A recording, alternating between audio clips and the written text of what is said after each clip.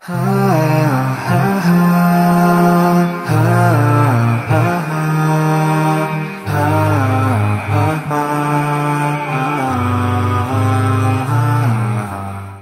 الله الرحمن الرحيم السلام عليكم ورحمة الله وبركاته الحمد لله الحمد لله رب العالمين وبه نستعين على أمور الدنيا والدين Ashhadu an la ilaha illallah wa ashhadu anna muhammadan abduhu wa rasuluh amma ba'd. Kaum muslimin yang dimuliakan Allah, sahabat keluarga muslim, sahabat dari salah yang dimuliakan yang semoga kiranya kita semua, Anda, saya, dan semua orang yang kiranya masih beriman kepada Allah dan Rasulnya, beriman kepada hari akhir, kiranya kita semua dijaga oleh Allah. Kita semua masih Allah inginkan kebaikan untuk diri kita, untuk dunia kita, lebih-lebih lagi untuk akhir nantinya. Cukuplah itu sebagai nikmat terbesar yang masih Allah anugerahkan kepada kita yang untuk selalu kita syukuri. Kaum muslimin yang dimuliakan Allah, kembali dalam acara kita di Nu'min Sa'ah. Kali ini kita akan membahas tema atau sesuatu yang setiap kita pernah mengalaminya. Setiap kita pernah merasakannya. Sakit, berat. Kemudian merasa sempit bahkan kita merasa lebih baik kita berada di dalam tempat yang tersembunyi. Ya, kita semua pernah merasakan dihina, dicela, dicemoohkan, direndahkan, dipandang sebelah mata, bahkan dikucilkan. Ya, mungkin Anda saat ini merasakan perkara tersebut.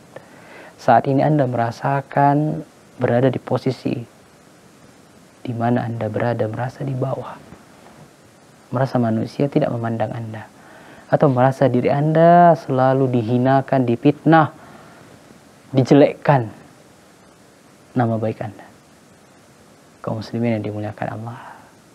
Sebelum Anda ternyata ada yang lebih dulu. Sebelum Anda ternyata ada hamba Allah yang kita semua mengakui bagaimana bersihnya hati beliau, bagaimana iman beliau kepada Allah, bagaimana penyayangnya beliau, bagaimana amanahnya beliau, bagaimana budi pekerti beliau. Tidak ada yang mencela kebaikan budi pekertinya mereka semua mengakuinya, tapi dia juga tidak selamat dari celaan manusia. Mereka mengatakan dia kahin, dukun.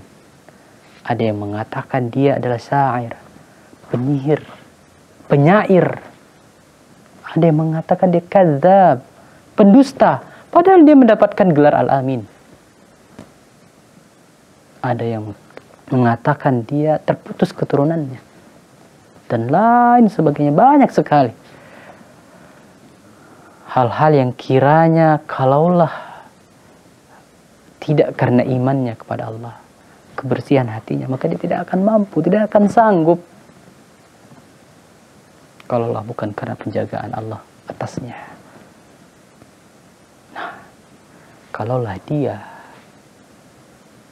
hamba Allah yang paling mulia toh juga tidak selamat dari yang namanya celaan hinaan manusia. Bagaimana dengan kita? Apakah kita seagung semulia sebaik setinggi takwa dan iman kita kepada Allah seperti Nabi Muhammad SAW tentu jauh tidak jauh amat sangat jauh jadi Bagaimana mungkin kita ingin merasa atau ingin terhindar dari celaan manusia? Tidak, wahai saudaraku.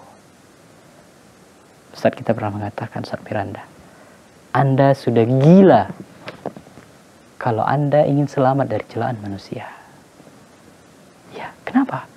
Karena tidak ada yang selamat dari celaan manusia. Hanya saja bagaimana sikap kita ketika dicela. Setidaknya ada dua hal. Ada dua kemungkinan. Ketika seseorang dicela itu, maka lihat siapa yang mencelanya.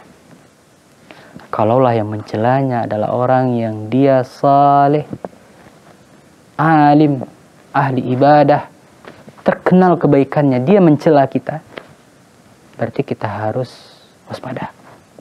Harus coba introspeksi diri, periksa ada yang salah dan Allah ingin memperbaiki kita melalui lisannya.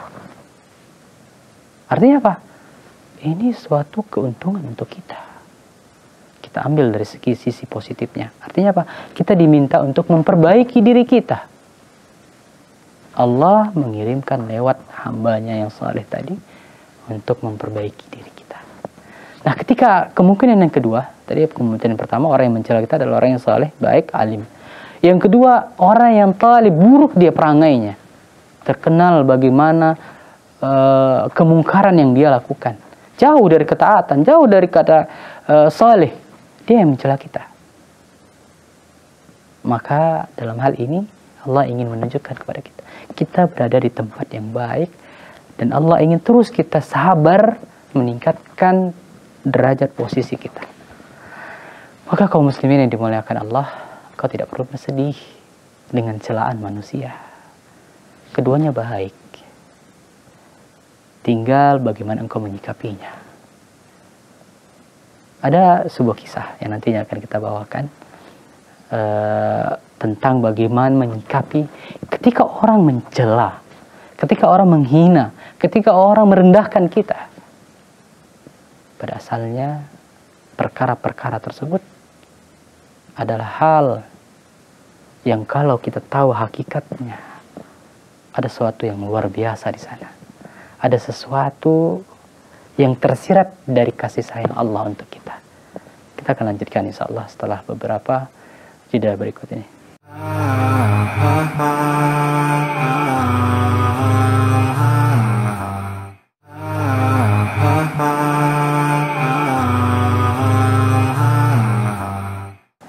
Baik kaum muslimin yang dimuliakan Allah Subhanahu wa taala. Kita lanjutkan kembali di pembahasan kita Nu'min Sa'ah yaitu hikmah luar biasa dari celaan manusia. Ya, kita berbicara tentang celaan, hinaan, cemoohan. Suatu perkara yang tidak mungkin luput dari kita. Siapa pun kita baik kita orang yang saleh, orang yang rajin ibadah, orang yang selalu menjaga muamalah yang baik, berperilaku yang baik, kita pasti mendapatkan celaan. Begitu juga ketika kita orang yang buruk, kita juga pasti banyak dicela. Ya, tinggal kita bagaimana menyikapi celaan tersebut. Ada orang yang menyikapi celaan tersebut membuat dia semakin naik keimanannya naik derajatnya di sisi Allah. Karena dia bersabar. Karena dia berin, mengintrospeksi dirinya. Berusaha memperbaiki sebaik mungkin. Ada orang yang ketika dia dicela dia menjadi down. Jatuh. Tidak sedikit dari mereka yang kalau kita lihat artis-artis notabene yang mereka mengakhiri hidupnya dengan bunuh diri. Atau minimal dengan lari kepada narkoba minum minuman keras dan lain sebagainya ini, di sinilah fungsi iman amat sangat besar. Ketika iman ada di hati, di dada, dia akan mengarahkan kepada perkara yang baik. Tapi kalaulah hati hilang dari dada, maka yang terjadi adalah dia akan terjerumus kepada keburukan. Nah, kalau bicara tentang celaan tidak ada manusia, bahkan ya, Allah saja dicela oleh orang kafir. Mereka mengatakan, bukankah jelas dalam Al-Quran ya, dikatakan bahwasanya orang Yahudi mengatakan Allah itu punya anak, Uzair ibn Allah. Celaan. Ada yang mengatakan Allah itu punya anak wanita. Ada yang mengatakan tangan Allah itu terbelenggu, pelit. Dan lain sebagainya Tuhan mereka celah. Rabbul Alamin yang menguasai seluruh alam ini. Dicela, tidak selamat dari celaan manusia yang bodoh, jahil. Malaikat juga dicela. Malaikat Jibril contohnya. Dianggap berkhianat oleh orang-orang Syiah yang mereka anggap meyakini bahwasanya seharusnya Jibril itu memberikan wahyu kenabian itu kepada Ali bin Abi Thalib. Tapi dia malah memberikan kepada Muhammad. Allahu Akbar. Mereka mencela sampai sebegitunya. Ini para sahabat. Ini para sahabat yang Allah berikan predikat kepada mereka, titel radhiyallahu anhum wa an. Allah ridho kepada mereka dan mereka ridho kepada Allah. Tidak ada titel, tidak ada pangkat, tidak ada gelar yang lebih mulia daripada gelar ini. Gelar yang disematkan kepada mereka dalam Al-Quran. Yang abadi sampai nanti hari kiamat. Ada. Dan mereka tidak selamat dari celaan. Suatu hari ada sahabat di zaman tabi'in bahkan menjumpai istri Rasulullah Aisyah radhiyallahu anha mereka bertanya, "Wahai Ibunda Ummul Mukminin Aisyah radhiyallahu anha, bagaimana sikap kita? Bagaimana apa tindakan kita terhadap orang-orang yang mencela Abu Bakar, mencela Umar, mencela para sahabat?" Kita tahu Rasulullah selama semasa hidupnya. Sering sekali Rasulullah ketika mengatakan sesuatu aku bersama Abu Bakar dan Umar. Aku bersama Abu Bakar dan Umar. Ke mana-mana hampir Rasulullah tidak lepas dari yang namanya Abu Bakar dan Umar. Bahkan sampai Rasulullah wafat, Abu Bakar dan Umar menemaninya. Mereka dikuburkan di tempat yang sama. Allah sahabat yang mulia ini pun tak lep, tak luput dari yang namanya celaan manusia. Bahkan dianggap kafir, dimurtadkan, di, dikafirkan oleh orang-orang Syiah yang dilaknat oleh mereka. Mereka terus melaknatnya, mendoakan keburukan untuk Abu Bakar dan Umar. Bahkan untuk Aisyah sendiri. Mereka laknat. Allah musta'an. Apa jawaban dari Aisyah radhiyallahu anha ketika ditanya oleh Eh, muridnya itu. Dia katakan, apa yang kalian takjubkan? Apa yang kalian herankan dari mereka yang mencela, merendahkan, mencemoohkan, menjelekkan nama baik para sahabat Abu Bakar dan Umar. Mereka para sahabat ketika mereka wafat, ketika mereka mati, maka selesai sudah amalan mereka. Selesai sudah amalan mereka. Dan Allah karena cintanya kepada para sahabat, maka Allah buat agar kiranya amalan tersebut masih ada yang nyampai sampai kepada mereka. Masih dikirim kepada mereka. Melalui siapa? Melalui mereka orang-orang yang mencela para sahabat sampai akhir ini. Sampai saat ini. Ada aja orang yang mencela para sahabat, menjelekkan bagaimana Abu Bakar, Umar, Abu Hurairah dan lain sebagainya. Pada Rasulullah mengatakan la subuh ashabi. Jangan kalian cela sahabatku. Seandainya kalian berimpak satu gunung emas, maka tidak akan menyamai impaknya sahabatku walaupun hanya satu mud. Walaupun hanya sedikit. Maksudnya bagaimana? Apa maksud perkataan dari Aisyah tadi mengatakan karena cintanya Allah kepada para sahabat sehingga Allah jadikan mereka nih eh, apa namanya mencela para sahabat yang mana mereka mengirimkan pahala-pahalanya untuk para sahabat tersebut terutama Abu Bakar dan Umar.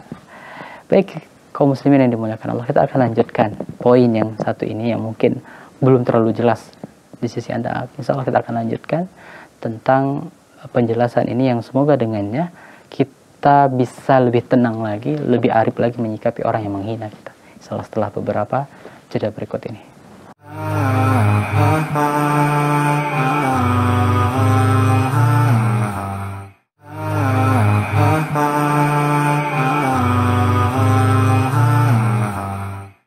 Kaum muslimin yang dimuliakan Allah Subhanahu wa taala. Kita lanjutkan kembali di segmen yang ketiga, Nu'min Sa'ah.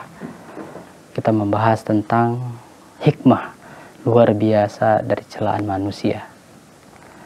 Nah, tadi kita sudah membawakan kisah dari Aisyah radhiyallahu anha yang menjelaskan kepada muridnya yang bertanya tentang bagaimana dengan sikap kita kepada orang-orang yang mencela, menjelekkan ya, mengejek, mengolok-olok para sahabat? Maka itu jawabannya.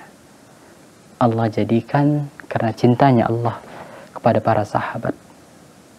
Maka Allah jadikan mereka eh tetap bisa mendapatkan pahala. Pahala dari mana? Dari celaan manusia.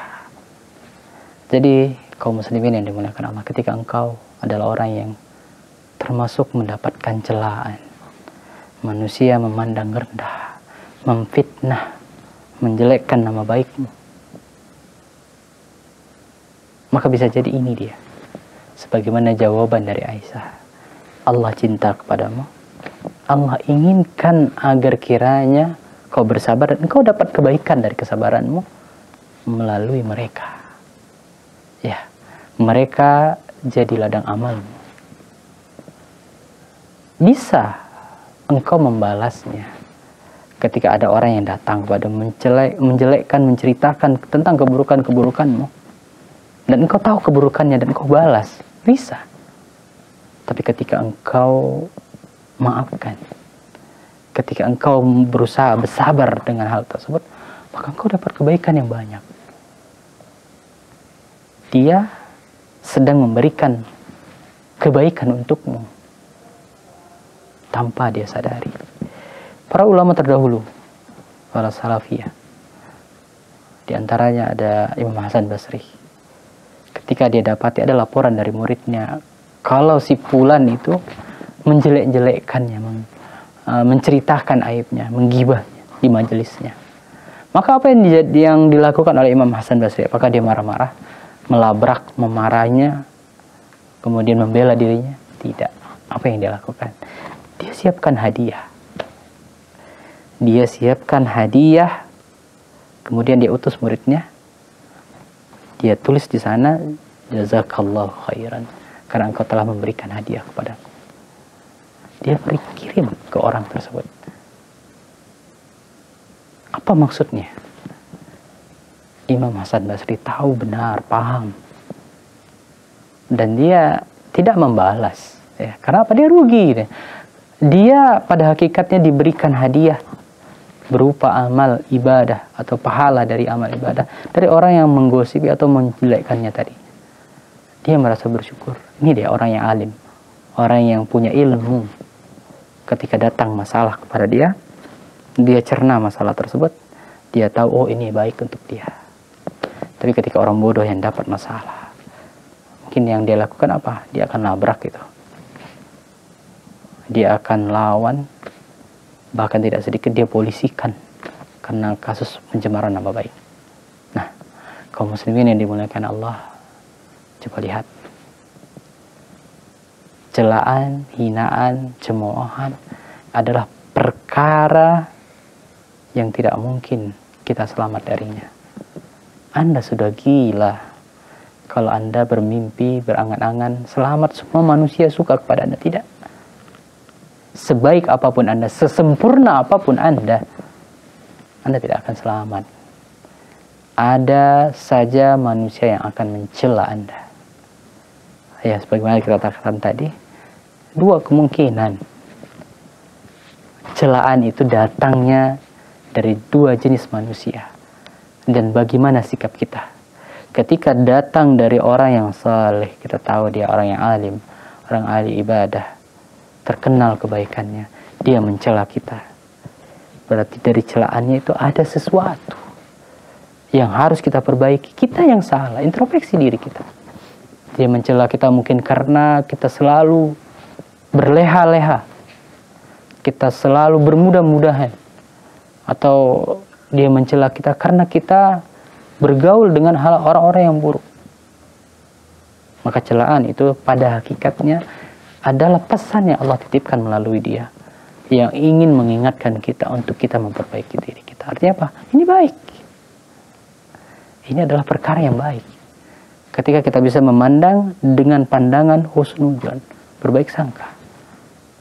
Tapi kalau kita dengan kacamata suudzon, buruk sangka, kita malah membalasnya. Kita malah mencari-cari kesalahannya, mencari-cari keburukannya, mencari aibnya. Tajassus. Dan itu dilarang dalam agama kita. Tidak boleh.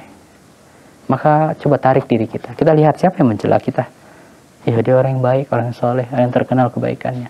Dia yang celah kita, maka coba introspeksi diri kita, apa celahannya? Kita perbaiki. Maka baik bagimu. Asuhul khair. Kemudian yang kedua, datang dari orang yang buruk. Celaan itu. Datang dari orang yang terkenal dia, orang yang buruknya. Preman dia misalnya, orang yang selalu berbuat maksiat, orang yang selalu membuat kerusuhan, kegaduhan datang dari dia. Dia mencela kita. Mencela yang dia cela itu adalah dia katakan itu sok suci, sok alim, sok baik gitu. Maka kita berbangga. Kita bersyukur dan kita bersabar. Kenapa? Sejadi melalui dia Allah kirimkan kasih sayang Allah. Apa bentuk kasih sayang Allah? Ya, Allah berikan hadiah melalui dia dia punya amalan atau minimal dosa kita untuknya. Bukankah kita sering mengatakan bahwasanya tidak ada kezoliman yang luput nantinya di akhirat. Semua akan dibalas. Bahkan semua orang nanti berangan-angan kalau dia dulu di dunia sering dizolimi. Sering direndahkan, disakiti. Supaya apa? Supaya itu semua bisa menjadi hal yang menyelamatkan dia dari siksaan Allah. Maka jangan bersedih wahai saudaraku ketika engkau dicela, dihina, direndahkan. Jadikan introspeksi diri kita dan meningkatkan keimanan kita kepada Allah. Mudah-mudahan bermanfaat dan semoga kiranya Allah jaga kita selalu dalam kebaikan. Kita tutup dengan doa kebaratul majlis. Subhanakallahumma wa bihamdik, syada la ilaha illa anta astaghfiruka wa atubu ilaik. Wassalamualaikum warahmatullahi wabarakatuh.